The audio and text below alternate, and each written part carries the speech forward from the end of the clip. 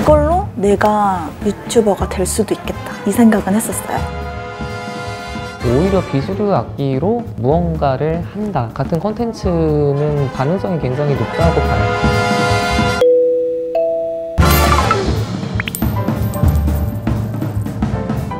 우리는 음악이나 악기를 주류와 비주류로 나눕니다. 하지만 이 분류는 현실과 다르죠. 바로 이 중간 지점에 평소에 듣거나 본 적 없는 사람들이 아주 많이 있습니다. 사랑하는 일로 먹고 사는 게 두려운 건 이들에 대해 모르기 때문입니다. 이것은 칼림바입니다. 손바닥만한 나무통에 가느다란 철판을 여러 개 달아놓은 악기죠. 철판을 튕겼을 때 진동에 의해 소리가 나는 것을 이용해 오르골과 비슷한 느낌을 줍니다. 크리에이터 알차는 비주류 악기로 불리는 이 칼림바로 보통의 회사원만큼의 연봉을 벌고 있습니다.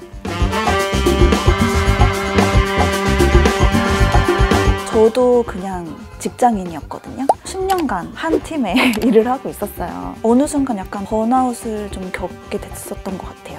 그러던 와중에 TV에서 칼림바를 접하게 된 거예요. 뭔가 위로가 된다, 힐링이 된다. 그게 딱 박혀버려가지고 그 주 주말에 낙원 상가에 가서 막 돌아다녔는데 칼림바를 잘 모르는 분도 계시고 어, 악기 종류가 많지 않더라고요. 악기는 되게 비싸고 다 어, 고급이고 뭐 이런 걸로 생각했는데 칼림바를 창고에서 꺼내서 오셔가지고 그냥 검은 봉투에 검은 비닐봉투에 넣어서 주신 거예요. 제가 이제 물어보기를 칼림바는 책이 있나요? 아니면 어디서 배워야 되나요? 했더니 거기 사장님께서 아, 뭐 이런 걸 뭘 배우나요? 그냥 혼자 하시면 돼요. 이래가지고 유튜브를 찾아봤죠. 전혀 없고 에이프릴 양이라는 중국인 어, 칼림비스트가 중국어로 어, 한 두세 개 올려놓은 게 있더라고요. 칼림바는 이런 악기다. 저는 중국어를 못하는데 그걸 보면서 떠듬떠듬 그렇게 했었던 것 같아요.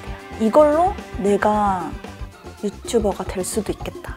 이 생각은 했었어요. 작년 9월쯤에 국내에 칼림바 협회가 몇 개 생겼어요. 1기 칼림바 지도사 자격증을 취득을 하게 됐죠. 확신이 있었어요. 이거는 사람들이 몰라서 못 좋아하는 거다. 누구든 좋아할 수 있고 누구든 할 수 있는 악기다라는 확신이 있었어요.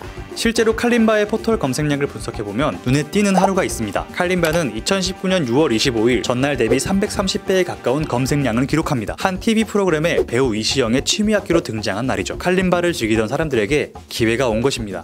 칼림바로 돈을 벌기 시작했어요. 첫 정산액은 사회 초년생 연봉 정도 한 3천만 원 이상 수업을 오픈하고 나서 한 달 이내에 정산받은 금액 이 아- 작은 악기로 어느 정도 돈을 벌 수 있을지 전혀 생각을 못 했거든요. 그게 뭐 가, 가능할지도. 근데 사실은 그 예상을 훨씬 뛰어넘는 것은 맞고 그 외에 제휴 마케팅을 하는 악기 판매에 대한 수수료, 뭐 악보 판매라든지 제가 좋아서 연주를 하고 그다음에 이거를 알리고 싶어서 가르치는 거를 하고는 있지만 사실 그렇게 큰 금액을 한 번에 벌 수 있으리라고는 전혀 생각을 못했었고 칼림바라는 악기의 가능성을 그때 봤던 것 같아요. 아, 이 악기가 나뿐만이 아니라 다른 사람들한테도 위로를 주는 게 맞구나.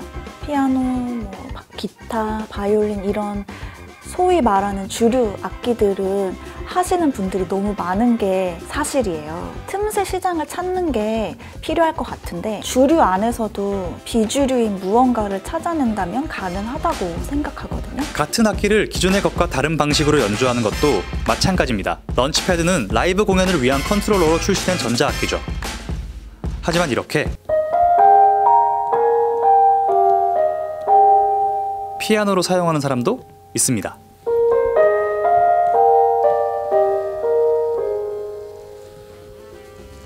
같은 놀이를 하더라도 약간 남들하고는 다르게 하는 걸 좋아했었어요. 그리고 그거에 가치가 있다고 생각을 했었고 어, 런치패드를 사용을 할 때도 그게 마찬가지였던 것 같아요. 이거를 남들과는 좀 다르게 써보자. 피아노를 치고 싶은데 세상에 피아노를 잘 치는 사람은 많다.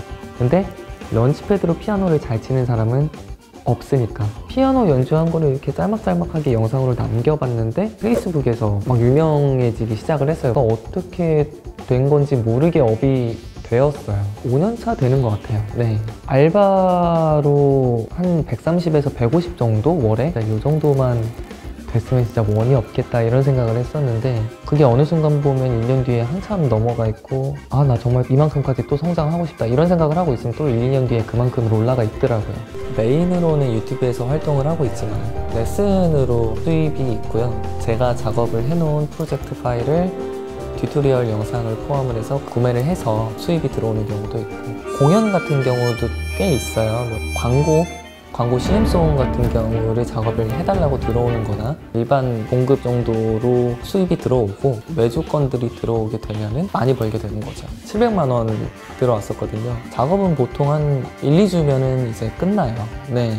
비주류 악기를 과연 취급을 해줄까? 이런 문제는 그다지 비중이 크지 않다고 생각을 해요. 오히려 어드밴티지가 될 수 있다고 봅니다. 이거는 그냥 PR의 문제일 뿐이지 그 컨텐츠의 문제는 아니라고 생각을 하거든요. 분명히 그거를 소비해줄 수 있는 대중들은 많이 있어요 터미널 같은데 공항 화장실 흔히 들리는 그런 음악들 있잖아요 전부 제 음악으로 바꾸는 게 제 꿈이에요 제가 한 가지 확신하는 것은 어떻게든 기회가 있다라는 거거든요. 지금 하는 일 말고 다른 일을 시작하고 싶다. 하고 싶은 일이 없어. 근데 지금 생활은 만족스럽지 않아. 하신다면 일단 도전을 해보시면 분명히 기회가 열리고 본인의 기대치를 조금 낮춘 상태에서 시작을 하면 반드시 돈 벌 길이 생기는 것 같아요. 내가 준비가 안 되어 있으면 이게 기회인 줄도 모르고 지나가는 경우가 허다하다고 생각을 하거든요. 물론 저도 굉장히 많은 기회를 지나쳐 왔을 거예요. 제가 준비하는 기간과 노력, 아끼는 시간 전부 다 따졌을 때 더 열심히 하면은 정말 요만한 기회도 잡아낼 수 있지 않을까. 그러면은 제가 원하던 꿈이 더 빨리 올 수 있지 않을까. 그런 생각으로 하루하루를 준비를 하고 있죠.